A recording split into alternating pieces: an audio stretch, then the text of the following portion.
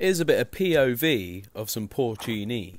These absolute bad boys sell for 50 quid a kilo.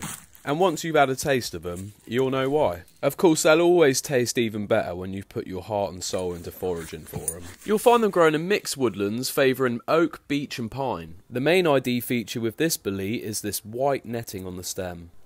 Just look at all these beauties. Now, let's get some cooked up. Unfortunately, with many mushrooms, and in particular the boletes, you do get some maggots knocking about in there, so you do need to check.